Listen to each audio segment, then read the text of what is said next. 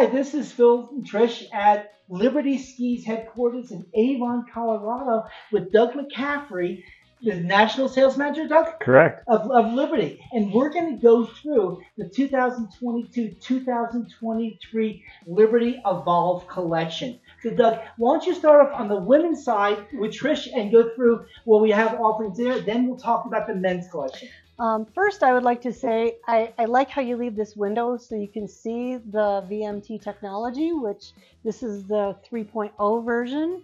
Um, the, the VMT technology is vertical metal technology, which brings you these level um, these vertical struts essentially through the ski to give you that dampening and give you that torsional rigidity without putting a whole layer of metal in and that lightens it up, right? Yeah, it saves quite a bit of weight savings just by running um, the metal strut tip to tail. We do that as well. So you are getting the dampening quality as Trish mentioned without the weight. So one thing that we've always prided ourselves with Liberty is the weight of our skis. Mm-hmm. So and this is no exception throughout the Evolv series. Um, certainly on some models a little narrower waisted. We're going to focus a little more mm-hmm. on the mm-hmm. front side, but we still are really um, coming out with a lightweight product. We've so. had our testers on both 84 and the 90 women's version of the ski, and they've been a home run. I know in the spring when we were at Arapahoe Basin a year ago, we had some people on the 90W, and it was just hands down.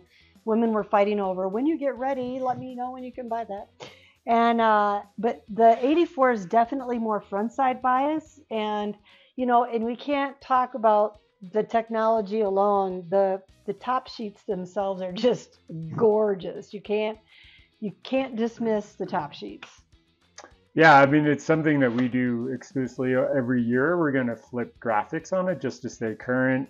Uh, we're always looking at color palettes mm-hmm. and then uh, just really what's going on in the industry. So um, you know, we try to just make a ski that's great on the inside as well as the outside. And now I think Phil wants to talk to you about a new addition you have to your line. Yep. So on the men's side, again, we on the women's we've got the 84 and the 90. Now the men's we expand past that. Yeah. When the Evolv collection came out a couple of years ago, we were early adapters on it, but 90 and 100 was some some of our testers' favorite skis. Now that line is also expanded to the 84, and like Trish referred to, was a little more of a frontside oriented version of those skis. And it really took the place of a ski that VTech that we really liked. But this ski here, shape-wise, was more conducive to more people in more conditions. So we understand why we went this direction. So we've got an 84 and 9100, and our big boy here, what we almost call it's a pro model, the 110. Yeah, and that was an addition after the collection was there. We had a fair amount of requests from uh, just some charging athletes, mm-hmm. and we delivered on that. We said, well, you know, we like the 100, but we need something bigger. You know, there are those days it's a directional free ride ski. Um, clearly, based on the waist width, it's going to be your big pow day someone who's you know a little bit uh, used to really finishing that turn and getting the tail to come around. It's kind of the theme with the Evolv series. Um, we have the Origin series that's done very well on our free ride collection. This is just a different take on what we're doing. You know, everyone's got a different feel for what they like in a ski. Um, what Phil was talking about was we first developed the V series a few years ago. It was a collection that we hadn't done before with Liberty. So we wanted to make sure that we we had the capability. People are asking, so we did. We developed it, and then we started working uh, into the V series, and then the Evolv was really the evolution of where we started. So. And taking a look at the ski, and again, the 100 and the 90 and the 84, basically the same shapes. But if you want to hold up here, we can see actually when we get into the 110 and we look at our tip profiles through here, this isn't just a bigger 100 the 110 here is going to be a little more of a off-piste oriented. Definitely that Charger, a great wind buff ski. I mean, this is a snowmass ski. It's for Palisades, Tahoe, Jackson Hole, that type of skier. This ski type of ski that's just going to eat up vertical. Correct. It's uh, it's been fun, but it also because of the VMT technology and the side cut we built into it not afraid to throw down on a groomer when you're heading back after your yeah. first lap or a couple laps out there. So um, a lot of versatility in this line.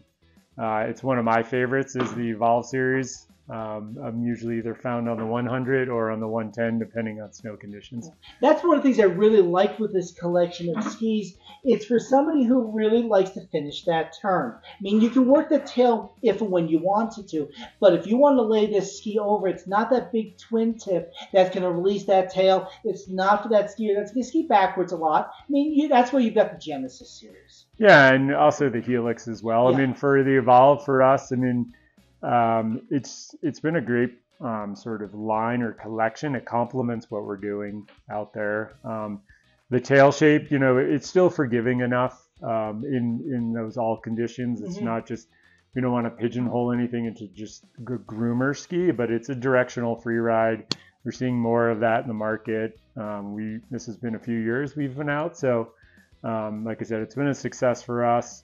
It's a little bit different for what we've typically been known for, but over the last two or three years, we've gained a lot of traction with it. I mean, Bill, I think you said to me one day in a conversation, it's probably the most underrated product that you've been on in a while. Yeah, So- no, it, it, unfortunately, it's under the radar for a lot of people, and this is why we're doing these videos. So, but to get the people out on the 90 and the 100, I mean, these are skis I'll put up against any ski from any other manufacturer out there.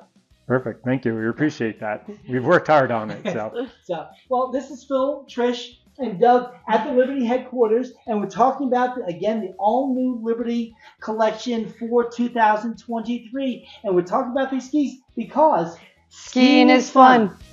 If you enjoyed this informative video, hit that bell, subscribe so that you'll stay up to date on the new videos, and check out skitalk.com for more ski related content. Also, please follow skitalk.com on all of your social media channels. No scenes from Hot Tub Time Machine were reenacted during the production of this video.